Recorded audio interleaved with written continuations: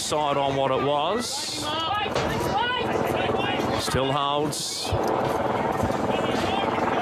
Now we're right. The gates open. Racing in the Stradbroke. Private Eye, the inside began well. In company there with Emerald Kingdom and Isotopers going forward. Valana is fourth early doors. Apache Chase 50 inside.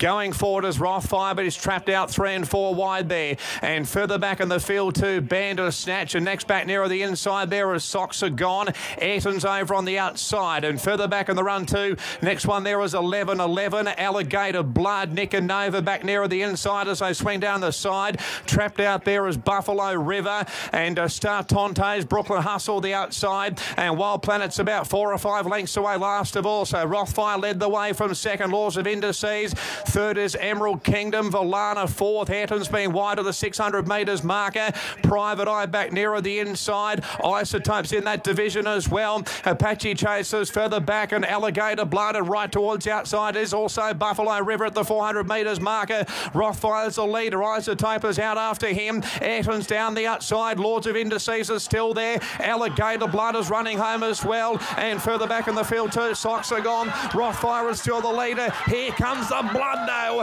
Alligator Blood on the outside stormed up and took over. Alligator Blood's in front, flashing late Private Eye, but Alligator Blood won the Stradbroke from Private Eye. Third Photo, fourth. Uh, out wide Brooklyn Hustle, Star Tontes, Isotope Ayrton, followed by I Am Superman, Laws of Indices, Valana, Emerald Kingdom, Socks are gone, Wild Planet, followed by Bandersnatch, Apache Chase, Buffalo River, and 11 11 pulled up at the rear.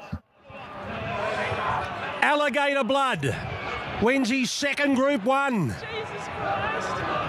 Has he put controversy behind him for good? Alligator Blood is the Stradbroke winner. Tim Clark, Gai Waterhouse, and Adrian Bott. Alligator Blood, right down the centre of the track, has won the Stradbroke from an Epsom winner in Private Eye, and third is a Queenslander, another Queenslander in Rothfire. Wow, he's back. He's back uh, in, in singing the winner's praises.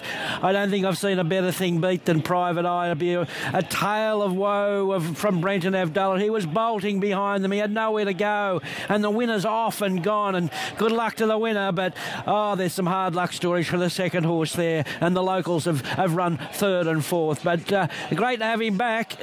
He was, you know, the most promising horse in Queensland there for a while. He lost his way, but he is back.